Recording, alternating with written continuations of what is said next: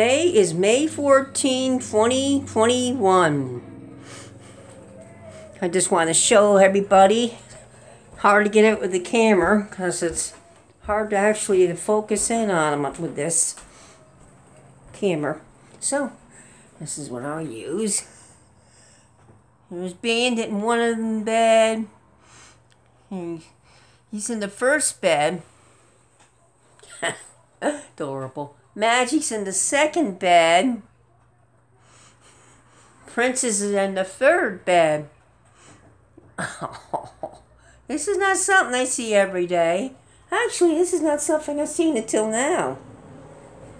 Get like uh, one kitty in one bed. Oh, Bandit. How you doing, little guy? Hmm? Magic. How you doing, little guy? Little, little kitty. Princess. How you doing, little girl? Oh, look at you. oh, cute.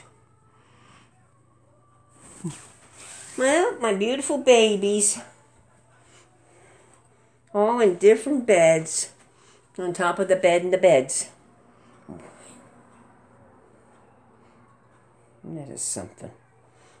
You can't see him. I just had to go up to him with the video camera here and show you. It's a beautiful day. He's up in the 70s or so. It's kind of weather I love. Well, this tree has really gotten beautiful. There goes a blue jay by the time I did this.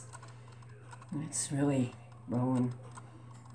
Miss you, Mom. Miss you, Wayne. Yeah.